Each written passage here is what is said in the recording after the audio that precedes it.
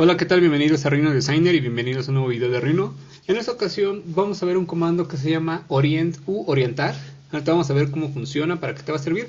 Bastante interesante para referenciar algunos objetos, eh, sobre todo cuando queremos que algunos objetos hagan match. Aquí tengo lo que es un objeto que va a ser mi objeto que quiero orientar y lo voy a orientar en alguno de estos ángulos. Eh, ¿Para qué te va a servir esto? Eh, te va a ayudar para que un objeto lo, con respecto de alguna arista lo puedas acomodar en otra arista. También puede ser en algún eje o algo por el estilo. En este caso podemos orientar este o cualquier otro objeto, incluso cuando son objetos este, complejos o de doble curvatura, solamente necesitamos dos referencias. Lo vamos a acomodar en, en alguna de esas entidades.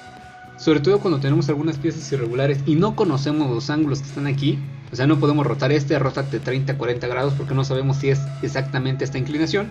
Pero primero vamos a verlo por eh, comando. Voy a poner guion bajo, orient. Aquí está.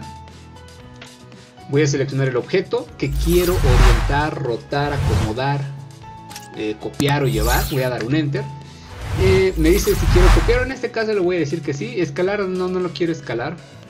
Quiero que quede como está si lo quieres eh, escalar, eh, que va a ser muy, este, muy raro a la vez que quieres escalar, pero ahorita vamos a ver esa opción. Eh, tenemos aquí mi punto de referencia 1, luego mi punto de referencia 2. Lo único que tengo que hacer ahora es indicarle, esto lo hice con la ayuda de end, no de fin, indicarle en qué sentido quiero que se acomode, por ejemplo, de aquí, aquí. Y listo. Si yo quisiera algún otro, en esta ocasión dice copiar sí. si le digo no, esta pieza se la va a llevar para acá. Pero yo puedo poner aquí varias copias, ¿no? Ahora quiero de aquí a aquí, ahora quiero de aquí a aquí. Y cuando ya no quiera más doy un enter. Chequen. Ahí tengo mis tres copias. Esta fue la, primera que está acomodada ahí en el, en el, eje que le he indicado. Que fue este de aquí, si no mal recuerdo. Me voy a dar, eh, lo voy a suprimir, voy a repetir comando. En esta ocasión lo voy a activar en español. Que va a ser orientar. Eh, en mi, programa está en inglés, pero eh, tú puedes poner ahí orientar o el icono también lo vamos a tener aquí. Vamos a venir aquí a Transform en Principal 2 y sería este, orientar objetos. Eh, voy a seleccionar mi objeto, voy a dar un Enter. Igual le voy a decir tal vez ahora de aquí a aquí. Y le voy a indicar que esté de aquí hacia acá. Pero ahora le voy a poner escala, le voy a decir que sí. Y vean lo que sucede. escala, en este caso le voy a poner 3D para que sea este, para que se escale proporcionalmente. Pero vean, entre yo me alejo, se hace más grande, más chico o va a cuadrar aquí. Voy a dar un enter y un enter más para aceptar. Y vean, se acaba de escalar y solamente mide esto. Va a ser un poquito raro. Eh, por ejemplo, en mi caso que trabajo en joyería, para que en algunos objetos sí eh, lo utilizo.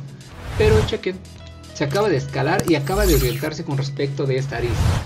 Por último voy a repetir comando y voy a dar un enter, seleccionar mi objeto, dar un enter, voy a poder copiar igual a no, escalar en 3D está bien, voy a poner los dos puntos, tal vez de aquí a aquí, y ahora lo voy a poner de aquí hacia acá. Lo que va a suceder es que ahora elimina el original y lo lleva de este lado. No es como tal que lo elimine, sino lo, lleva hacia acá y le aplica la escala. O si tenemos por ahí desactivado la, la, opción de escala, pues no lo va a aplicar, ¿no? Una vez más, selecciono, doy un enter, escalar le digo que no, Ahora lo quiero tal vez de aquí a aquí. Eh, copiar le digo que sí tal vez. De aquí a aquí. Y luego lo quiero de aquí a acá. Un enter para decirle que ya no quiero hacer más copias. Y un enter eh, para decirle que ya cierra mi comando. Aquí tengo mis dos copias. Esto te va a ayudar bastante para acomodar lo que son algunos objetos. Te, está evitando primero esta entidad, moverla desde un fin hacia el fin que quieres, rotarlo, acomodarlo en el ángulo. O sea, es bastante, por ejemplo, venir aquí a rotar de este fin a este fin y luego rotarlo hacia acá, ¿no? O sea, encontrar ese punto nos está este, ahorrando lo que es toda esta, esta parte. Y bueno, pues así de sencillo este comando, pero vean que, o sea, es fácil de utilizar, pero el aporte que trae es bastante interesante. Vamos a añadir una serie de comandos que no son tan comunes, pero que en Rhino te ayudan bastante. Van a ser unos 8 o 10 comandos. También vamos a estar agregando modelado. Eh, checa por ahí, tengo una, dos listas de reproducción que me interesa que cheques. Una es de comandos, llevo como 135 comandos y modelos completos tengo como 20. también puedes dejar en los comentarios algo que quisieras que modele. Acabo de iniciar una sección por ahí de eh, cosas bastante básicas, Rhino para principiantes. Y bueno, hasta aquí lo que es el video de hoy. Mi nombre es Guillermo Urbina, diseñador industrial y gráfico, y nos vemos en la próxima. Hasta luego.